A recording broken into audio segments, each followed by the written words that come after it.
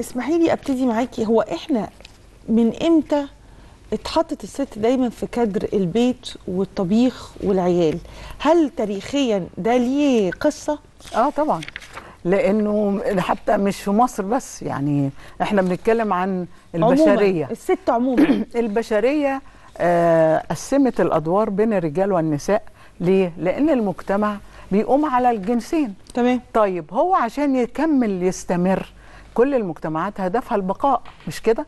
لأنها تعلم إنه البني آدمين هم اللي بيموتوا لكن المجتمع يعيش مم. فعشان يعيش عمل نظام الزواج طب مم. نظام الزواج اللي بيتجوز فيه الاثنين دول راح مقسم فيه الأدوار تقسيمة خادعة وضحك على نفسه فقال للرجال الأعمال العضلية هو اللي اصطاد ده أيام طبعا آه الصيد يعني. أنا ما أنا عايزه أفهم فكرة إن إحنا إزاي وصلنا إن إحنا بس آه. بنشتغل نطبخ ونخلف و- هو كان. يصطاد أو يشتغل في الحقل. طب والمرأة؟ عشان هي كائن ضعيف وهي فسيولوجيا أقل ويفضل يقول تبريرات أثبت الطب فيما بعد عكسها. عكسها طبعا. فراح قايل خلاص للمرأة داخل الجدران الخدمة والرعاية المنزلية والتفوق يبقى داخل الجدران. يعني الشطارة تبقى في المطبخ الشطارة في رعاية الأبناء وهكذا. أما الرجال فلهم هذا العالم المفتوح الواسع.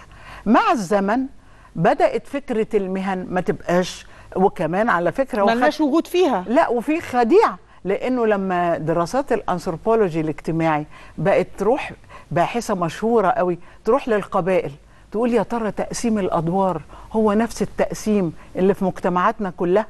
فاكتشفت مثلا في قبيلة مشهورة راحت تزورهم كده ساعة المغربية لقت الرجالة بس مسرحين شعرهم وقاعدين يعتنوا بالأطفال. وبيسخنوا مية عشان الستات راحوا يصطادوا.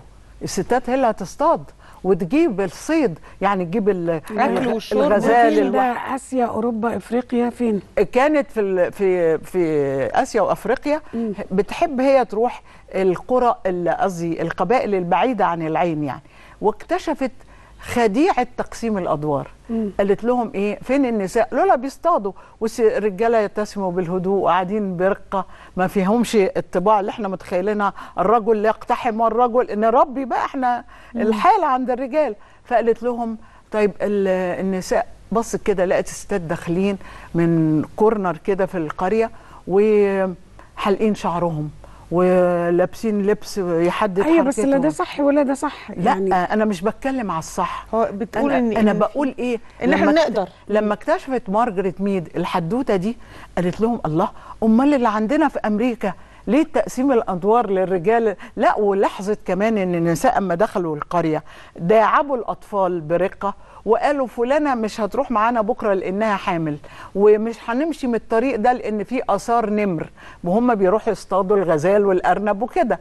والرجال قاموا يطبخوا من غير ما يحصل أي مشكلة وبدأت النساء اللي رجعوا يقعدوا في حلقات ويدخنوا ويتفقوا على خطة بكرة للصيد. فقالت إذا تقسيم الأدوار ليس تقسيما إلهيا. ده فعل يعني ده مجتمعي. تقسيم كل ممكن كل واحد على حسب المجتمع المجتمع بتاعه. ما هو عايز. فلكن أنا مس... آه، آه، غرقت البشرية في التقسيمة الخادعة. يعني مثلا لما رحنا بعد كده نشوف لكلية الطب هل النساء آه، أكثر ضعفا فسيولوجيا وبيولوجيا من الرجال؟ قالوا ابدا لأنها معدة للحمل والإنجاب فلازم تبقى أقوى. أجهزتها لازم تبقى أقوى. فاذا بدأ يعترف بقى رغم إن اللي تورط في الكلام ده مش المجتمعات بس دي المجتمعات وكمان علم النفس وعلم الاجتماع كله وقع في مطب للرجال اللي الرجال حاجات الأعلى أقوى ولا من الستات. لدرجة إنه علم النفس مثلا في م- واحد مشهور كل الناس عارفاه اسمه فرويد. طبعا. بيقول المرأة رجل ناقص. ما قالش المرأة كائن مختلف. قال رجل ناقص يعني إيه؟ يعني أنت بتحط هنا مكانه أعلى ومكانه أدنى. فالنساء في هذه الأجواء يتم تربيتها منذ أن تكتشفي أنها بنت. من أول ما تنزل من بطن أمها وتصدق الأكذوبة دي وتروح. المجتمع حادف للبنت دي خدي الأدوار دي عشان تتربي عليها.